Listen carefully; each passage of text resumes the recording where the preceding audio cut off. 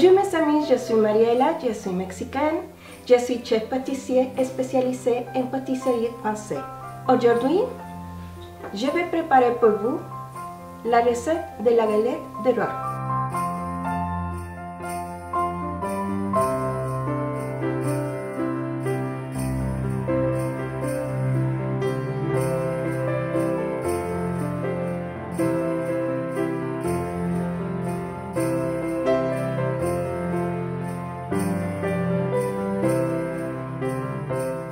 Vamos a incorporar la mantequilla que tiene que estar eh, a temperatura ambiente con la mitad del azúcar.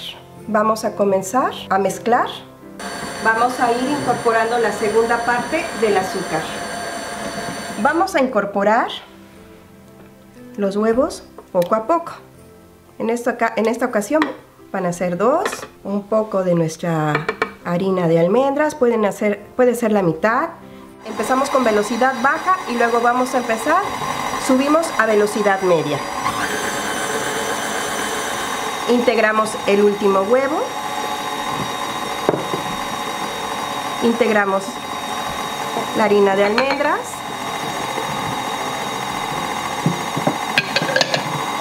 Por último, nuestra esencia de almendras. Subimos velocidad. Terminada nuestra mezcla, vamos a poner nuestra crema de almendras en una manga pastelera.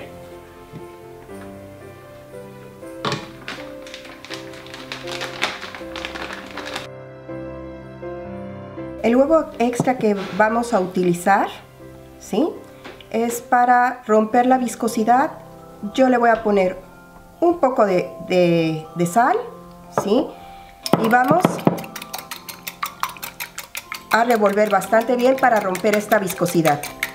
Esto es con, el fin de poder barnizar bien nuestra, nuestra galeta. Abrimos nuestra pasta hojaldre y vamos a barnizar la orilla. Esto con el fin de que nuestra segunda placa de, de pasta hojaldre se adhiera cuando la, la peguemos. Tomamos nuestra manga ¿sí? Y lo vamos a hacer en forma de círculo.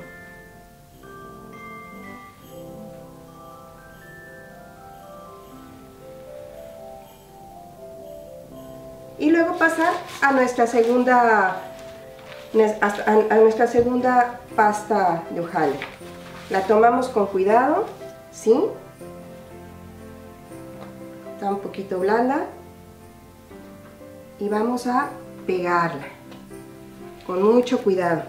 Bien, y vamos a proceder a sellar, ¿ok? Con nuestros dedos vamos a apretar.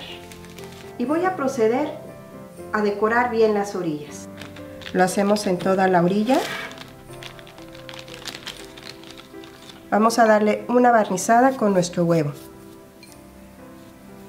Los bordes los hacemos así para que quede bien doradita nuestra galeta todas las pastas, todas las masas, una vez que han sido manipuladas, deben de dejar, eh, darles un tiempo de reposo, ¿sí? Esto fue manipulado por la cantidad de mantequilla que, que manejamos, debemos de dejarla reposar para después llevarla al horno. Entonces, lo voy a hacer en este momento por 20 minutos. Vamos a volver a barnizar. Hacemos un pequeño hoyito ¿sí? Y vamos a hacerle líneas.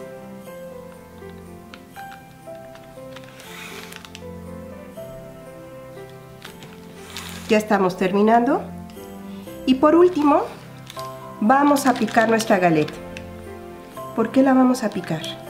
Necesitamos que salga el vapor. Ya está listo y lo vamos a llevar al horno.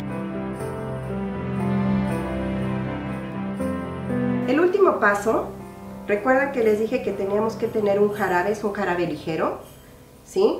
Agua y azúcar. Y yo en este caso le puse un poquito de ron, puede ser ron o whisky. Y para que se vea nuestra galette muy brillosa, la vamos a barnizar. Mes amis, la recette est finie.